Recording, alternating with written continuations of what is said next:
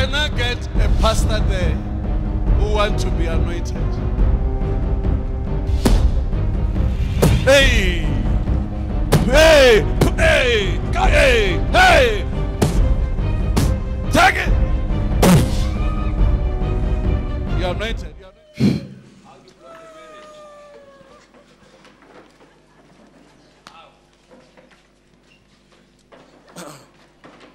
Can you bring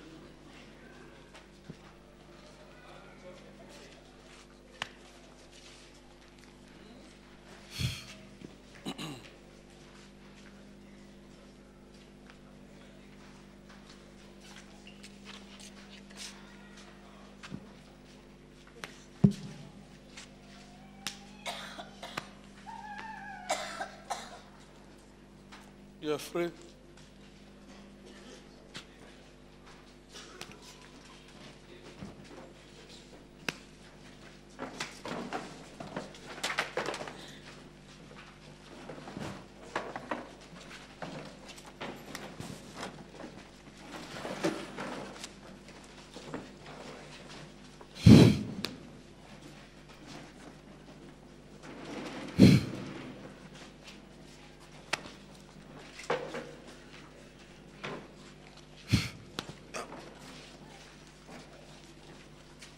My brother, you, you need deliverance, eh? You understand? Yes. I'm sorry to say I was questioning your calling.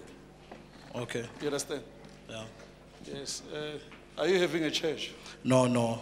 Uh, Yeah. you don't have a church. Yes. So you are submitting under someone. Yes. Huh? Yes. But you want to start your church. Because that's what I'm hearing, that you want to start your own. Yeah, when the time is right. Not on my, not on my own time, but God's time. My brother, I don't know you, but I'm seeing you rebelling. Eh? You understand? Okay.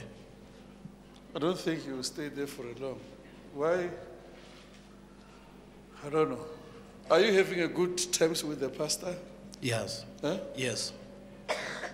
Can you stay with him forever? Yeah, you did ask me this question this year, and I said yes in front of the Lord, and I've been praying about it. Because He said, I, I think you can give glory to God. The question I'm asking him, he was asked.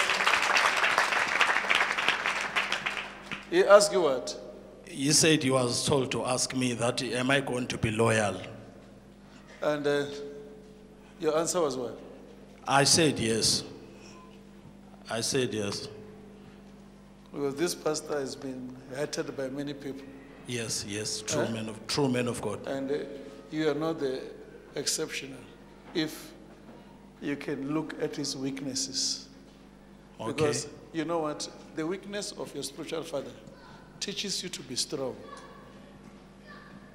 I just want to tell you that. The moment when you get it, oh, this man is weak here, it's a lesson to you to be strong there. But if you take advantage of his weakness, even those who you will have, they will really affect you double. If you just take advantage of the weakness of your spiritual father, you are bound to be affected double than what he saw. There is nobody who fight his spiritual father and become better than his spiritual father. Because you, start your own journey. I'm not saying you are doing that. Yes, yes. You understand? Yeah, I know, man. So he called you forward when in the church. Sorry? He called you forward in the church. Yes, I, he just stood me up. He said I must stand up. Then he spoke to me, He said what? uh, asking me that am I going to be loyal? In front of people. Yeah, it's in front of the church. And uh, you said, I said I'm going to be loyal. Can hear that. So now this is a serious test on you.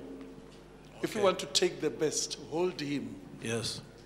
Yes, thank you. man If you want to be, I don't know, if you want to be used by God mightily, Yes. whether you are recruit or what, don't Yeah. listen. Yeah. Because people are talking too much around this man. Yes, I know, man. Eh? Yes. But it's entering you now. Because listen to this. Yeah. This thing that is entering you, don't ever think it's not doing anything to you. Devil want to use it to rebel.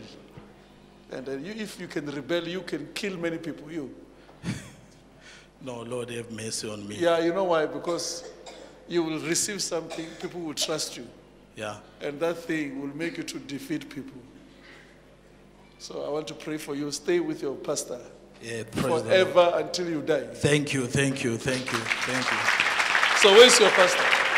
Uh, he's back here. He's in, he's in his house. He's the one who permitted me to come here. He permitted you? Yeah, he's always visiting you. Oh, I don't know him. Who's, his name is who? Uh, Pastor Dindlov, Danisa Ndlov. Let me pray for you, sir. I want God to use you and it will happen. Stay with your pastor. In fact, that's my prayer to you. Stay with me. You're blessed. You, you heard my prayer to him. Stay with, stay with your. Let me. The book by Apostle Professor J.B. Makananisa, Every Christian Needs Deliverance, is now available at Amazon.com. Get your copy today. Shalom.